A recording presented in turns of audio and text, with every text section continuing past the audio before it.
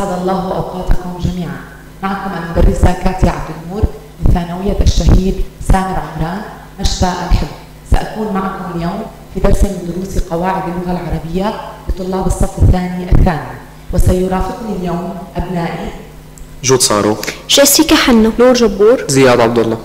سنكون معكم اليوم في درس من دروس قواعد اللغة العربية من الوحدة الأولى. وبداية وقبل أن أبدأ لابد أن أشكر الأستاذة ريم دلول الموجهة الاختصاصية ومنسقة مادة اللغة العربية في تربية طرطوس لتعاونها معي والأستاذ ماجد إبراهيم. بداية وقبل أن نبدأ في درسنا لابد لنا أن نتعرف الهدف العام من الدرس. استعمال الطالب لا نافية للجنس العامل عمل إن في كتابته وتحدثه مخرجات التعلم في نهاية الدرس. يصبح الطالب قادرا على أن يتعرف دلالة لا النافية للجنس أن يحدد شروط عملها وأن يذكر أنواع اسمها وأح أو أحكامه. بداية لنتذكر معا وانطلاقا أبنائي من عنوان درسنا. لا النافية للجنس العاملة عمل إن. نور لو سمحتي قلنا عاملة عمل إن. ذكرينا من هي إن؟ من إن؟ إن هي حرف مشبه بالفعل نعم. تدخل على الجملة الاسمية فهي تنصب المبتدأ ويسمى اسمها وترفع الخبر ويسمى خبرها. أحسنتي إذا هي تدخل على الجملة الاسمية فتنصب لنا المبتدأ ويسمى اسمها ويبقى الخبر مرفوعا. مثال المجد فائز. عندما دخلت آه، على الجملة إن أصبح إن المجد فائز فهي نصبت الاسم ورفعت الخبر. وبالتالي آه، هي لا ستعمل عمل. إن إذا يا جود ماذا ستعمل؟ لا ماذا ستعمل؟ آه، سوف تنصب المبتدا نعم. ويسمى اسمها وترفع الخبر ويسمى خبرها ويسمى خبرها. أحسنت وهي أسوة بإن لذلك نقول لا مقصر فائز. لا مقصر فائز فهي نصبت الاسم الذي يليها وأصبح اسمها ورفعت الخبر. تعالوا أبنائي معا لنقارن بين المثالين السابقين. المثال الأول إن المجد فائز لا مقصر فائز. زياد لو سمحت في الجملة الأولى. إن المجد فائز من خلال المعنى. ما المعنى الذي أعطته هذه الجملة؟ أكدت أن الفوز هو للمجد. أكدت أن الفوز هو للمجد. لماذا قلت لي أكدت؟ من أين أتيت بالتأكيد؟ لأن أن هي تفيد في توكيد الإثبات. في- في أنها تفيد التوكيد لأنها حرف مشبه بالفعل ويفيد التوكيد. إذا عندما قلت إن المجد فائز أنا أكدت الفوز للمجد. جيسيكا لو سمحتي لا مقصر فائز. معنى هذه الجملة ما هو معنى هذه الجملة؟ نفت لا الفوز عن المقصرين. نفت الفوز عن المقصرين. سنلاحظ من خلال المقارنة بأن إن المجد فائز المعنى الذي أعطته ويختلف عن المعنى الذي أعطته لا مقصر فائز. هنا أثبتت لنا الفوز للمجد بينما هنا نفت الفوز عن المقصر. وبالتالي إن لتوكيد الإثبات ولا لتوكيد النفي. إذا هما يتشابهان في العمل وإنما من حيث المعنى يختلفان. فإن لتوكيد الإثبات ولا لتوكيد النفي. تعالوا أبنائي معا لنقرأ الأمثلة الآتية ونتناقش. لا مقصر بالغ غايته لا كاذب مؤتمن. جيسيكا لو سمحتي من المثال الأول. أريد أن أسألك من الذي لا يبلغ الغاية؟ المقصر. المقصر هو الذي لا يبلغ الغاية. نور. خلال قراءة هذه الجملة هل هناك احتمال أن يبلغ أحد المقصرين الغاية؟ لا لا لماذا لا؟ لأنها نفت على سبيل النص وليس على سبيل الاحتمال نفت على سبيل النص بمعنى بأنها نفت بلوغ الغاية نصا أي تأكيدا أي أنه لا أحد من المقصرين سيبلغ الغاية فأنا قلت لا مقصر بالغ غايته لا كاذب مؤتمن جود لا كاذب مؤتمن من الذي لا أأتمنه الكاذب. الكاذب. زياد هل يمكن أن أأتمن أحد الكاذبين؟ لا. لا. لماذا لا أأتمن أحد الكاذبين؟ لأن لا هنا نفيت حدوث الف... نفيت خبر ال...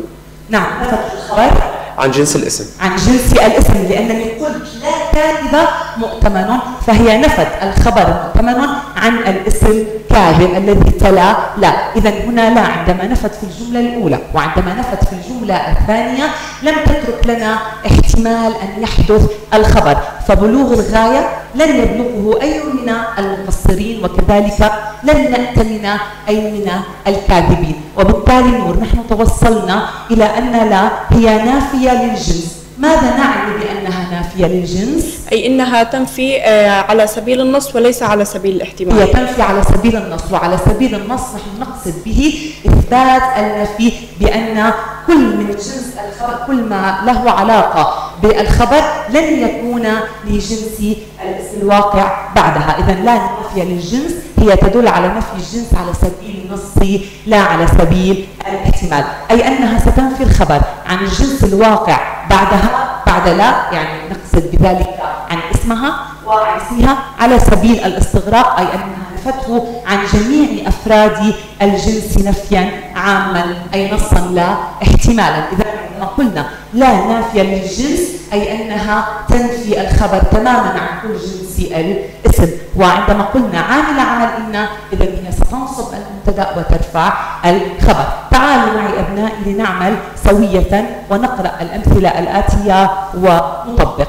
لا صديق لي بل أصدقاء لا صديق خائن. لا صديق لي بل أصدقاء لا صديق خائن. جيسيكا لو سمحتي. الجملة الأولى هل هنا عملت لا أم أهملت؟ هل عملت أم أهملت؟ آه لا هي عمل آه أهملت. أهملت. لماذا هي أهملت يا نور في المثال الأول؟ لماذا لم تعمل. لأنها خالفت الشرط فهي لم تنفي على سبيل النص بل نفت على سبيل الاحتمال. إذا هي لم تنفي على سبيل النص. أنا عندما قلت لا صديق لي بل أصدقاء الذي قصدته نفيت وجود صديق ولكن أثبتت عدة أصدقاء وهذا نحن لم نتوصل إليه في المعلومة السابقة. جود هل تلاها اسم منصوب هنا؟ هل لا. جاء بعدها اسم منصوب؟ لا. لا. لم يأتي بعدها اسم منصوب إذا هي هنا أهملت. الجملة الثانية زياد. لا صديق خائن. لا صديق خائن. هل هي عاملة أم مهملة؟ هنا أتت عاملة. هنا أتت عاملة. لماذا زياد هنا أتت عاملة؟ ماذا تلاها؟ الاسم الذي تلاها؟ هو اسم منصوب. هو اسم منصوب. وخبرها؟ مرفوع. مرفوع. كيف نفت؟ عندما قلت لا صديق خائن. نفت على سبيل النص. على سبيل النص. إذا أنا نفيت بأن الخيانة لا يمكن أن تكون لأي صديق أحسنتم أبنائي. إذا في الجملة الأولى هي مهملة.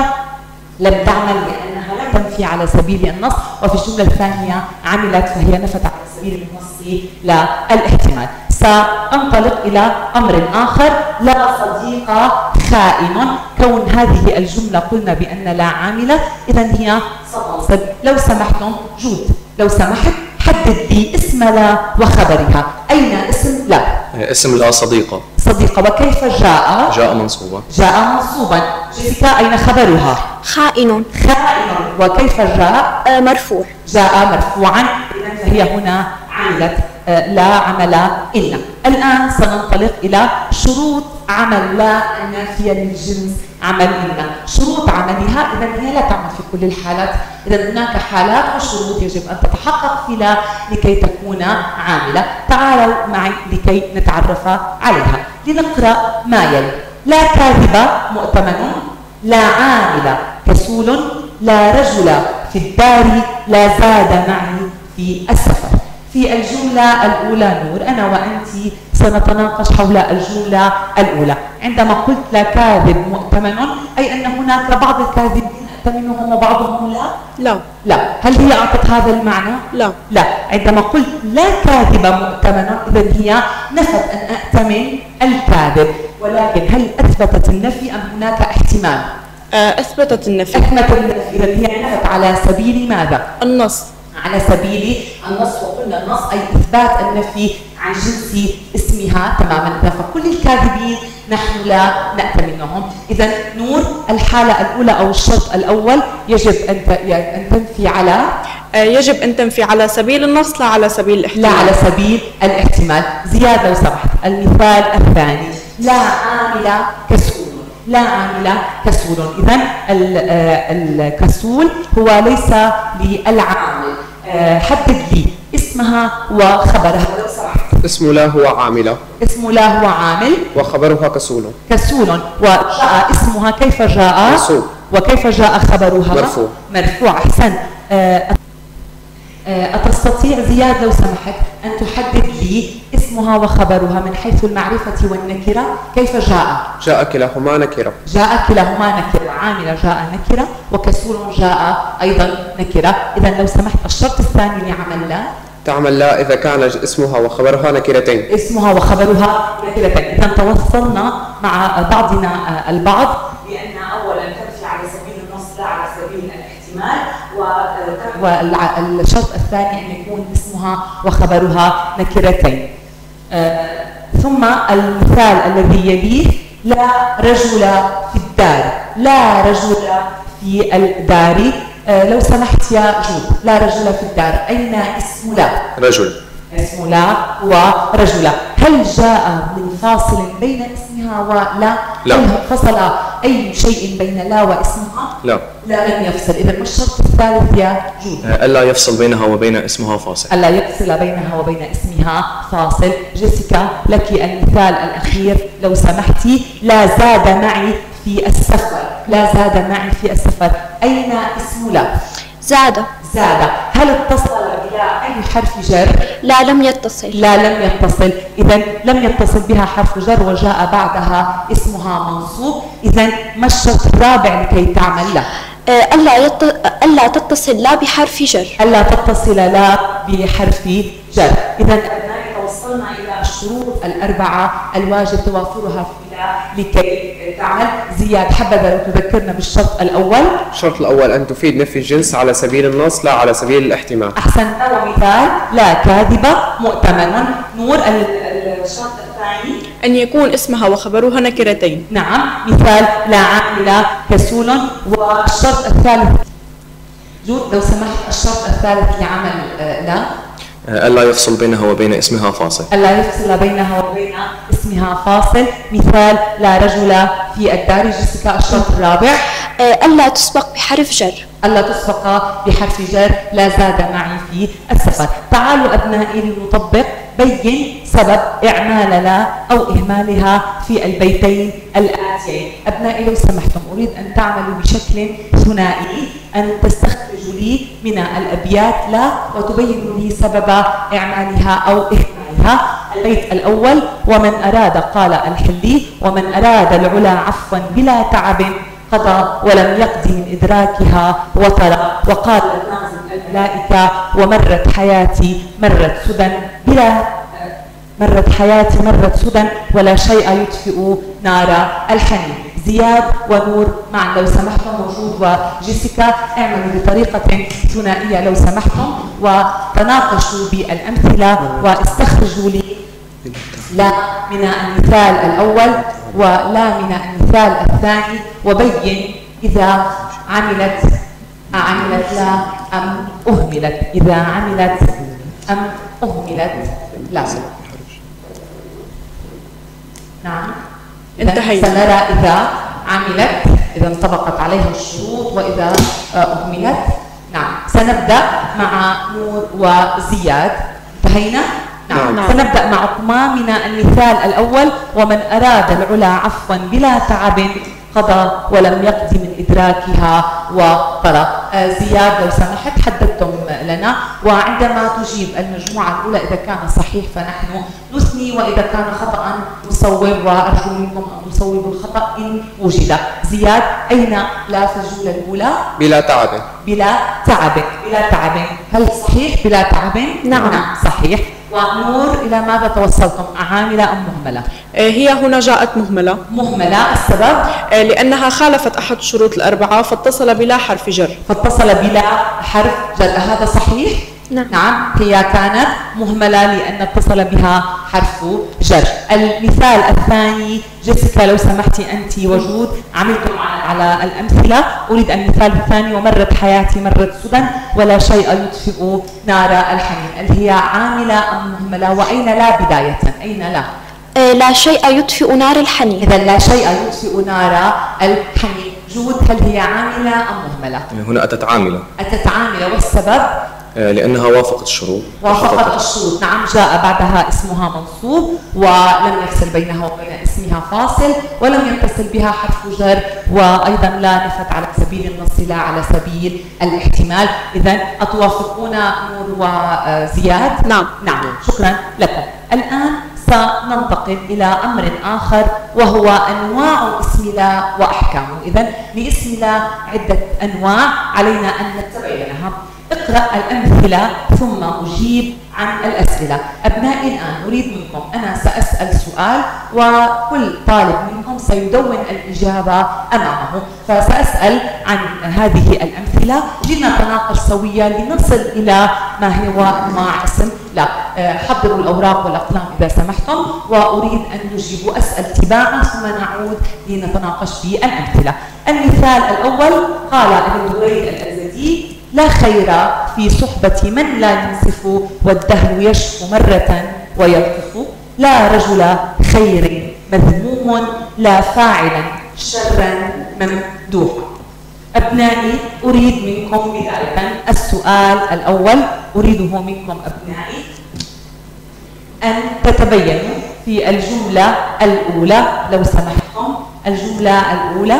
المثال الأول لا خير في صحبة من لا ينصف. استخرجوا لي اسم لا لو سمحتم.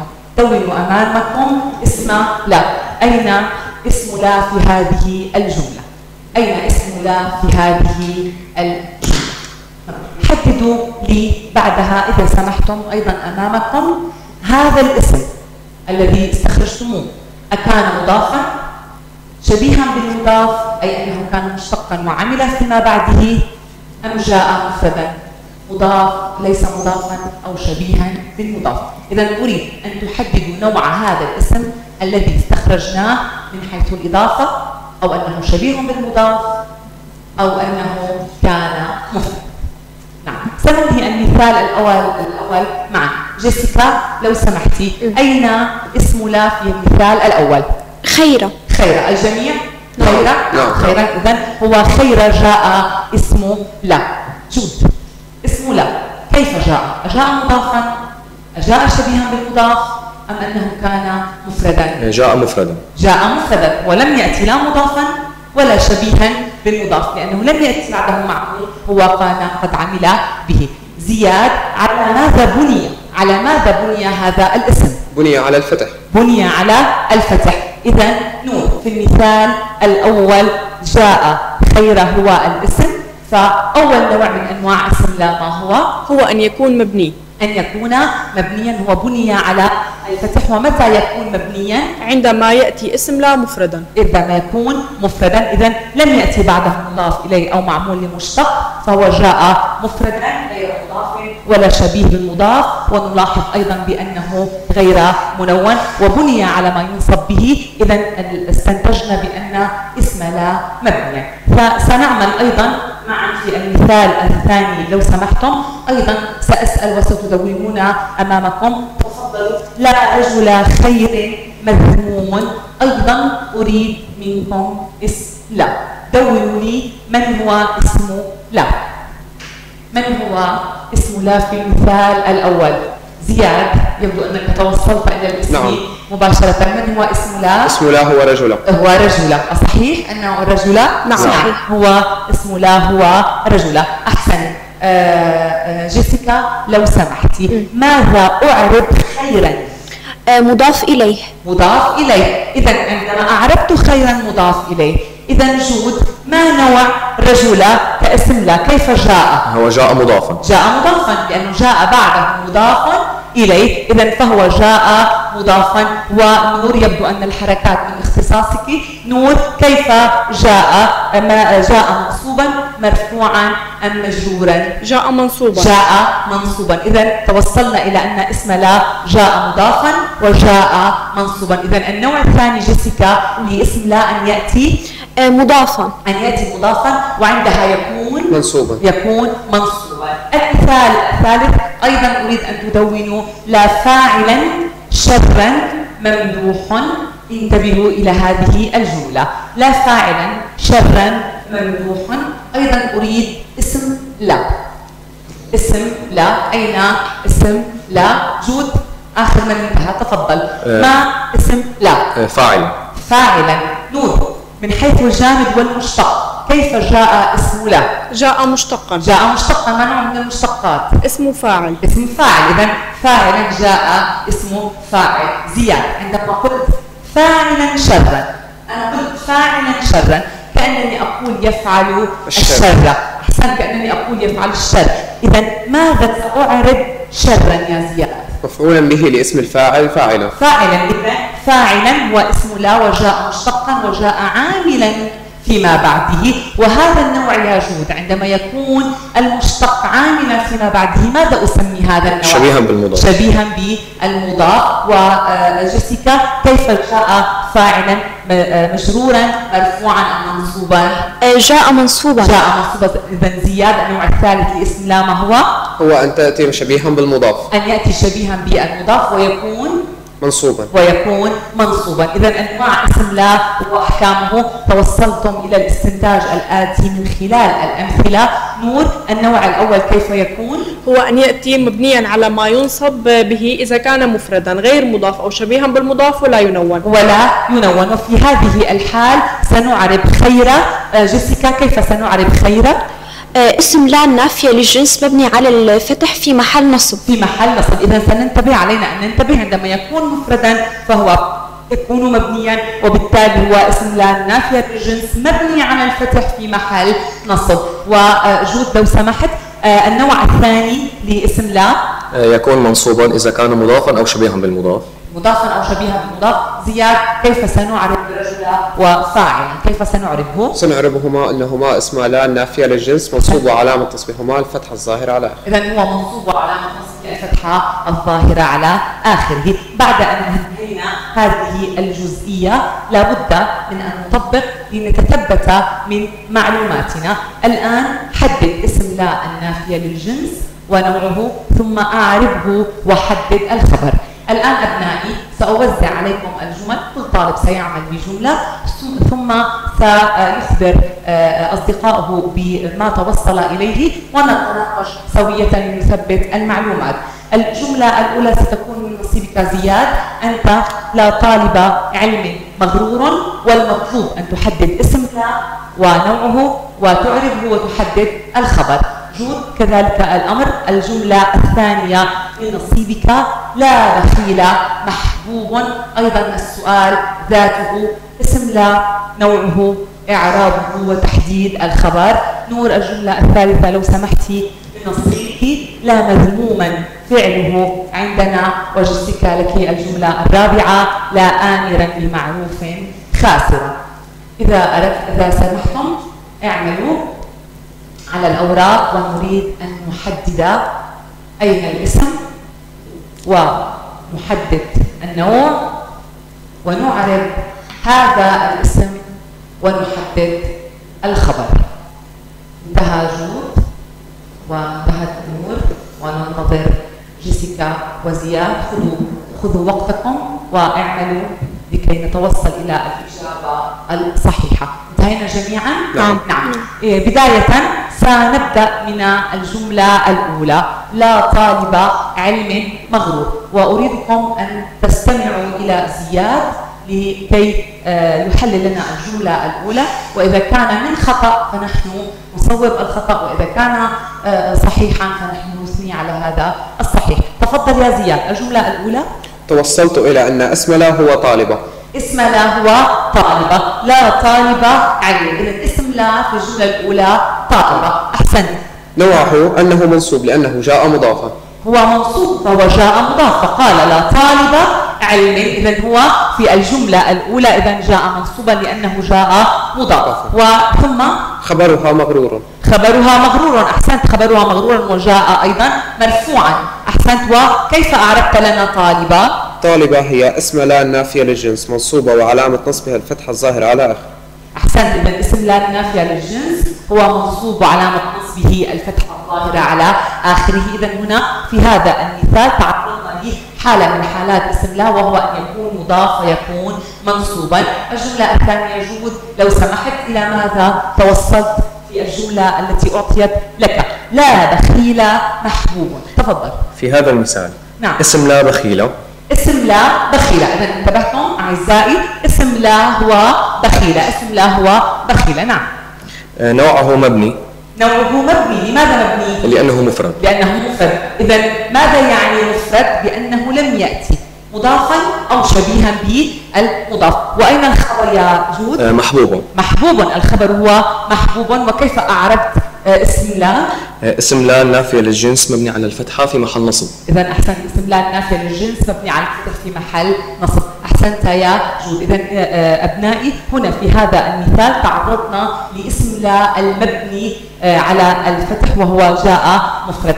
المثال الثالث كان من نصيبك النور على ما أعتقد. آه، لا مذموما فعله عندنا. تفضلي. ما توصلت إليه أن اسم لا هو مذموما. اسم لا هو مذموما. إذا انتبهتم أبنائي اسم لا هو مذموما. وما نوعه يا نور؟ آه، جاء شبيها بالمضاف. جاء شبيها بالمضاف. لماذا حكمت عليه بأنه شبيه بالمضاف؟ لأنه جاء منصوبا. جاء منصوبا.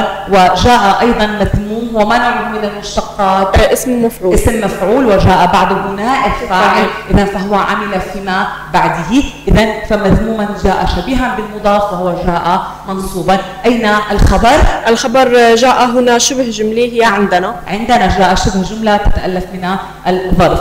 احسنت وكيف اعربت لنا مذموما؟ آه، اسم لا منصوب وعلامة نصبه الفتحة الظاهرة على آخره. اسم لا منصوب وعلامة نصبه الفتحة الظاهرة على آخره. النهاية ستكون معك يا جيسيكا تفضلي. لا آمرا بمعروف خاسر تفضلي. آه، لقد استنتجت أن اسم آه، لا هو أمرا. آ آمرا. آمرا. إذا من هو اسم لا أعيدي لو سمحتي؟ آه، آمرا. آمرا. نعم اسم لا هو آمرا. نعم. آه، وهو جاء منصوب.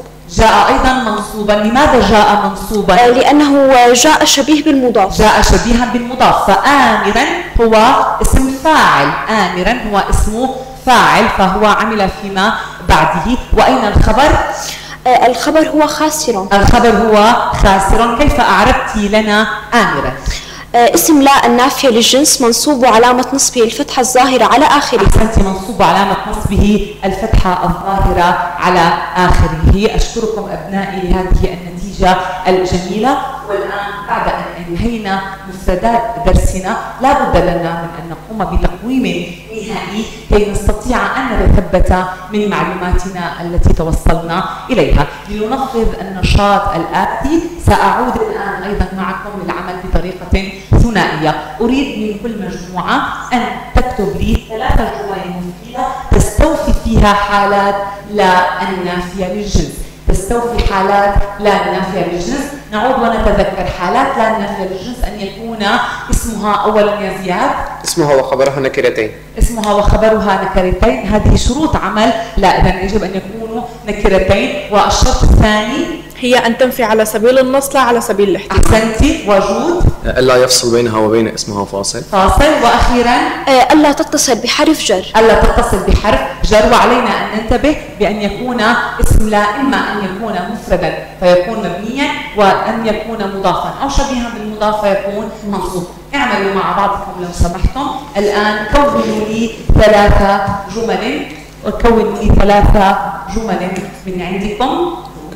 على أن تستوفوا الشروط وتنتبهوا بأن تكون عاملة وأن تنتبهوا أيضا إلى استيلاء وأنا قد دونت لكم أمثلة أثبتها من عندي. اعملوا. نعم شكرا لهذا النقاش ولهذه الكتابة نعم انتهت وزياد جميل.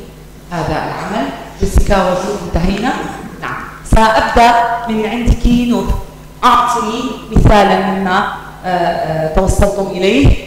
آه، لا معلم صف متخاذل. شكرا يا نور. لا معلم صف متخاذل. إذا لا معلم صف متخاذل هي عاملة جاء بعدها اسمها وخبرها والنوع الذي أعطيتني إياه ما هو؟ آه، جاء هنا منصوبا لأنها لأنه جاء اسم لا آه، مضافا. مضافا أحسنت يا نور شكرا لك ولهذا المثال الجميل. جود أعطني آه، مثالا. لا ناكرا معروفا محبوب لا ناكرا. معروفا محبوب لا ناكرا معروفا محبوب احسنت وما نوعه هنا؟ آه، هنا أتى شبيها بالمضاف. شبيها بالمضاف لأنه جاء مشتق وعاملا فيما بعده. زياد اعطيني جمله لا قلم على الطاولة. لا قلم على الطاولة. احسنت اذا أي جملة بسيطة المهم المهم أن تكون صحيحة قواعديا. اذا لا قلم على الطاولة. وكيف جاء هنا؟ مفردا. مفردا. جيسيكا لك المثال الأخير. دوما لك المثال الأخير. تفضلي. آه، لا طفل نائم. لا؟ آه، طفل نائم. لا طفل نائم. لا طفل نائم. أحسنتم. وأنا دونت لكم. لا أحد أغير من الله. لا أحد يغار علينا ويخاف علينا كالله عز وجل. لا قلب أم قاس. لا مكروها طبعه محبوب. احسنتم أبنائي شكرا لكم ولهذا العمل الجميل. اقرأ الأمثلة الآتية ثم أجب. أريد منكم أن تنتبهوا إلى هذه الأمثلة ونعمل معا لنتوصل إلى الإجابة. لا لذة للشباب بل لذات لا في الدار رجل ولا امرأة. أريد منكم أن تتبين سبب عدم الإعمال لا في الأمثلة السابقة. أنا وضعت أمثلة ولا لم تعمل. لم تعمل أي أنها لم تنفي نور. آه، لم تنفي على سبيل النص بل نفت على سبيل الاحتمال. أحسنتي ولم تعمل أي أنها لم تتبع باسم. منصوب؟ منصوب وخبر مرفوع. المثال الأول. لا لذة للشباب بل لذات من سيقول لي لماذا لم تعمل هنا؟ لا جيسيكا أول من رفعت تفضلي. لماذا لم تعمل؟ لم تعمل هنا لأنها لم تنفي على سبيل النص بل نفت على سبيل الاحتمال. أحسنتي أنا قلت لا لذة للشباب بل لذات. إذا أنا نفيت وجود لذة ولكن أثبت وجود عدة لذات وهذا نحن لم نتوصل إليه في عملي. لا أحسنتي يا جيسيكا. المثال الثاني أريده من جود. جود لا في الدار رجل ولا امرأة. لماذا هي لم تعمل؟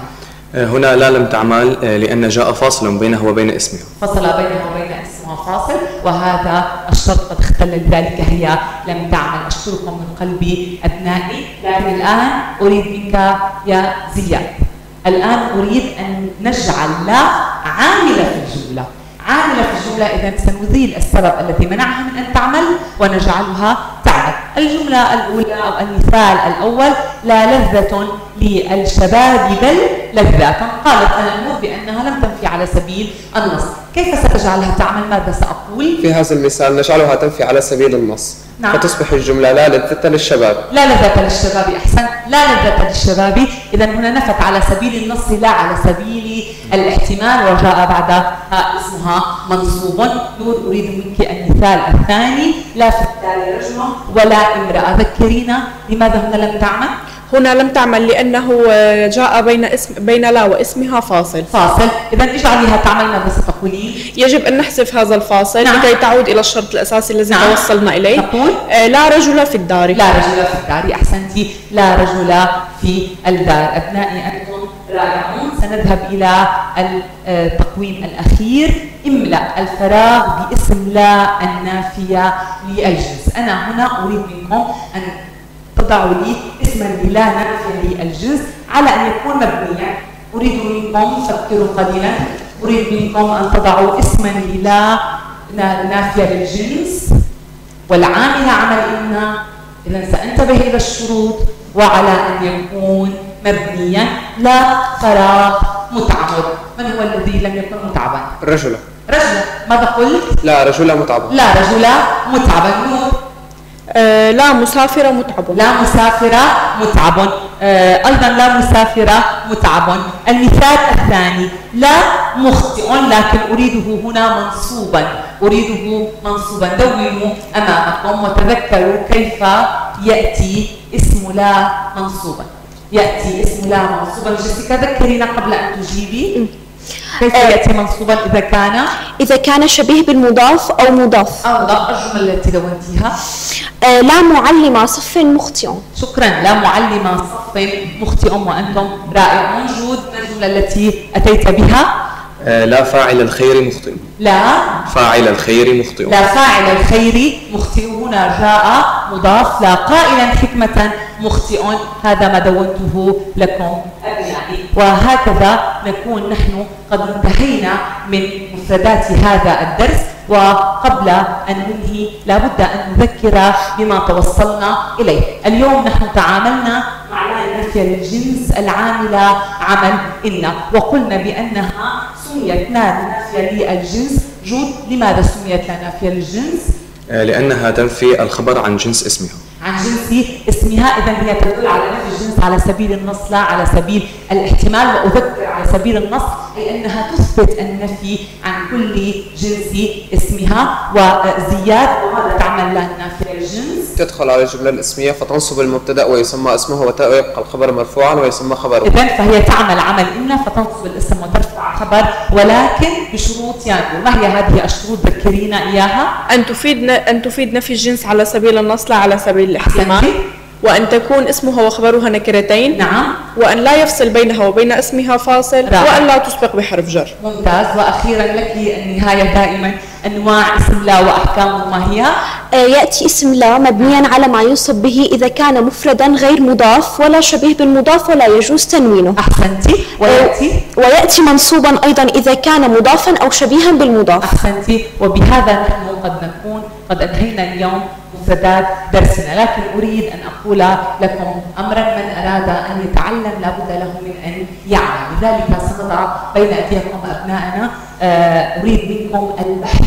ابحث عزيزي الطالب يمكنك الاستعانة بمصادر تعلم مختلفة بمصادر تعلم مختلفة ومنها جامع الدروس العربية لتبحث عن أحوال خبرها بعد أن تحدثنا عن اسمها. إذا هناك أحوال لاسمها لكن أيضا توجد أحوال لخبرها؟ فنستطيع أن نبحث عنه لنستزيد علما أو أحكام لا إذا تكررت. وكما قلت من أراد أن يتعلم لابد له من أن يعمل. وبهذا نكون قد أنهينا درسنا اليوم وهو لا نافية للجنس العامل عمل إن أرجو أن أكون قد قدمت لكم الفائدة من طلابي ومني أنا المدرسة كاتي عبد النور. أتمنى لكم كل الخير وأتمنى أن ألقاكم مرة أخرى.